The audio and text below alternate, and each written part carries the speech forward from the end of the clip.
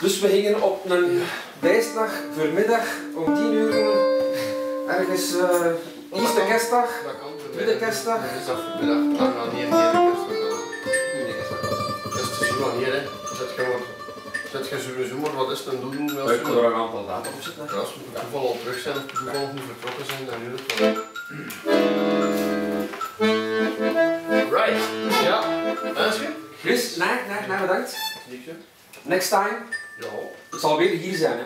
Ja. Sowieso. Of zo moeten zijn dat ik uh, iets afvuur, maar ik pijs niet.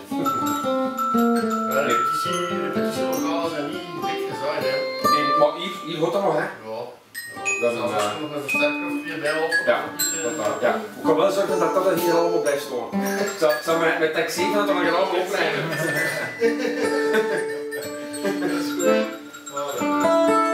Zijn bedankt in de groetjes, hè Chris.